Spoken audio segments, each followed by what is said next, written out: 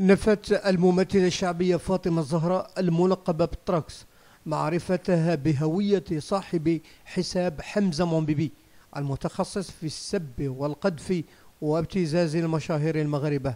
وقالت تراكس في حديث صحفي إنها تستغرب من الأخبار التي تروج حولها والتي يعرفها الناس دون أن يكون لها علم بها مسبقا.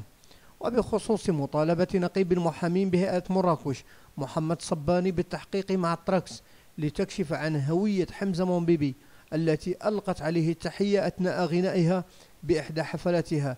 أوردت المتحدثة مفخباريش وهادشي غير تخربيق. ويذكر أن سعيدة شرف هي التي فجرت ملف حمزة مونبيبي بعد أن كانت إحدى ضحايا صاحب الحساب من المشاهير الذين تعرضوا للابتزاز والسب والقذف. ولا يزال الملف معروضا للقضاء. ويعرف تطورات ومستجدات بين الحين والآخر إذ في كل مرة يتم الاستماع إلى أشخاص جدد وردت أسماؤهم في التحقيقات. المشاهد TV قبل ما تخرجوا ما تنسوش تابوناو في la chaîne YouTube وبارطاجيو الفيديو مع أصحابكم في مواقع التواصل الاجتماعي. وما تنسوش ديروا جيم.